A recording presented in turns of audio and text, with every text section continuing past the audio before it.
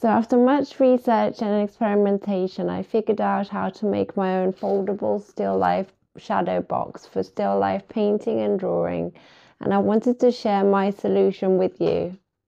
Shadow boxes allow you to control the light source on your still life setup, blocking unwanted light and enabling you to light your subject to your heart's desire.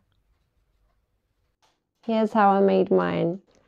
For my Still Life Shadow box, I bought a heavy duty foldable storage box from online in a 60 by 45 and 40 centimeter size where all you have to do to set it up is unfold it and put the bottom of the box inside and there you have a ready-made pop-up shadow box that you could use in two different orientations depending on what you're painting or drawing.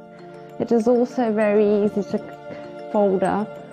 You just remove the bottom panel and the box collapses in on itself,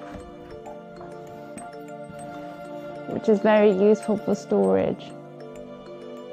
As the lid will not be needed, I will cut this off. To be able to use mini glue dots and double-sided tape for attaching drapery to the background of the still life shadow box, I've decided to use gaffer tape along the top and the side depending on which orientation I will be using the shadow box in. For the lighting I bought a clip-on LED dimmable light. It has three color temperatures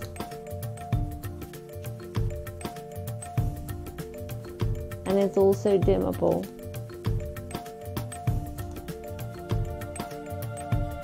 The 15 inch gooseneck arm allows for positioning of lighting from various angles. So let's see this setup in action.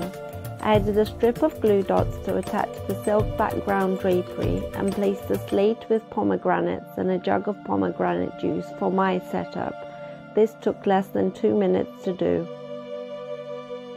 I hope this simple solution may inspire and help you with your still life painting.